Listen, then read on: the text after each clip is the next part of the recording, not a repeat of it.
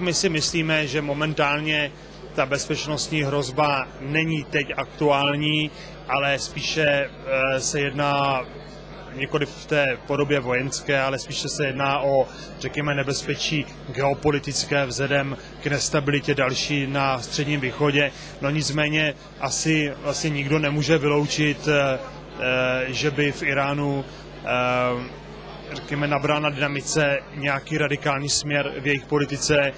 My jsme, my jsme organizovali před před rokem takový uzavřený seminář v Tel Avivu s eh, izraelskými, s předními izraelskými bezpečnostními experty. Eh, jeden z briefingů byl zaměřený na izraelské zkušenosti z války s Izbaláhem.